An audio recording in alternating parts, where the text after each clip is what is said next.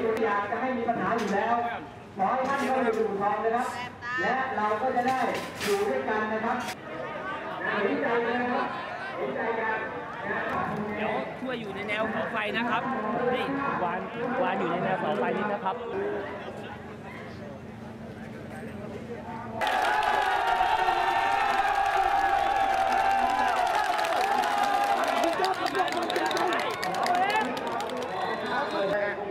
ตรงถนนภูทองอะค่ะใช่แต่ตอนนี้ตำรวจเขาเขายึดเขายึดสภาได้แล้วก็คือ